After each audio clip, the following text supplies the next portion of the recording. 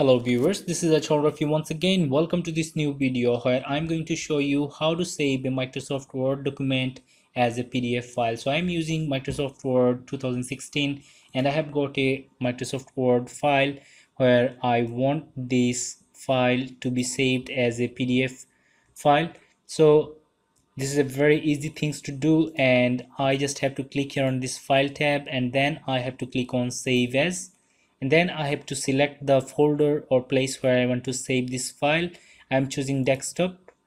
And then I have to put a name. For example I'm putting example PDF as the name. And here is the important part save as type. So it is currently selected as word document but we want it as a PDF so here is PDF I've just selected and now it's time to click on save.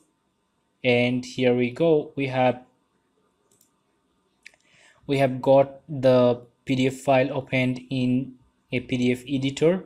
So let me show you. Here is the file example PDF dot pdf this is our file. So i hope this video was helpful to you. And if you have found this video helpful please like this video and subscribe to my channel for more helpful videos. Thank you very much for watching